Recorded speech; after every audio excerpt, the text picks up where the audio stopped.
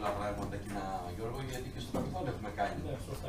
αρκετά. Και είμαι σήμερα εδώ για να παρακολουθήσω την ενδιαφέρουσα εκδήλωση που αφορά τη βιώσιμη αστική κινητικότητα, γιατί ο Δήμος Λιτρακίου κινείται πιο γρήγορα από πολλούς Δήμους στην περιοχή, από το Δήμο Κορινθίων σίγουρα, και πιο σωστά.